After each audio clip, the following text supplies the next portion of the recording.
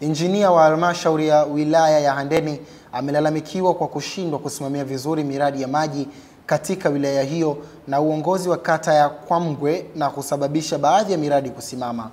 Wakitoa malalamiko yao kwa mkuu wa wilaya ya ndeni Godwin Gondwe, diwani wa kata ya Kamgwe wilayani humo Sharifa Abede amesema kuwa inasikitisha wadau wanaojitolea kuisaidia serikali, lakini wapo watumishi wanaokwamisha juhudi za rais za kukomboa wananchi na shida mbalimbali.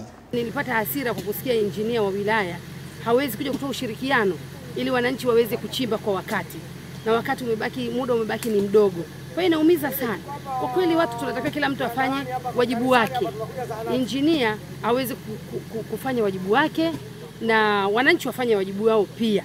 Ukiangalia wananchi wamesaidiwa kiasi kikubwa sana, sisi tuna asilimia ishirini tu tunachangia kwenye mradi. Ni aibu kuonekana tunashindwa kutimiza kwa wakati kwa asilimia ishirini. Mtaalamu ni yeye na yeye yuko wilayani huku hafiki sehemu ambayo inahitajika. Kwa hiyo cha msingi tunamuomba injinia halmashauri afike hapa ili awape maelekezo wananchi. Baada ya malalamiko hayo, mkuu wa wilaya ya Handeni aliagiza kwa mkurugenzi wa halmashauri ya wilaya ya Handeni William Makufwe kumchukulia hatua injinia huyo. Pia ametoa onyo kwa watumishi wa wilaya ya Handeni kuacha uzembe kazini.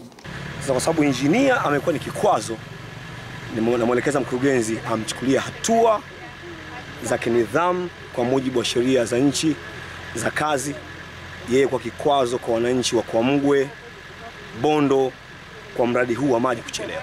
Kwa upande wake, mratibu wa shirika la World Vision ADP Mkumbulu Kelvin Meta amesema mradi huo ni mkubwa kwani unagharimu shilingi milioni 240 ambapo unategemewa kuhudumia wananchi zaidi ya elfu tano ikiwemo taasisi za serikali. Watu elfu tano ambao wanaishi katika vijiji viwili, lakini pia tunategemea maji haya yatatumika katika shule shule zipatazo tatu pamoja na taasisi za serikali kama zahanati. Mradi huo unategemewa kuisha mwisho wa mwezi huu ambapo asilimia 80 ya gharama inayotolewa na shirika la World Vision huku wananchi wakichangia asilimia 20 za mradi huo ambapo utawanufaisha wananchi wa kijiji cha Bondo, Kwamgwe na Ngojolo.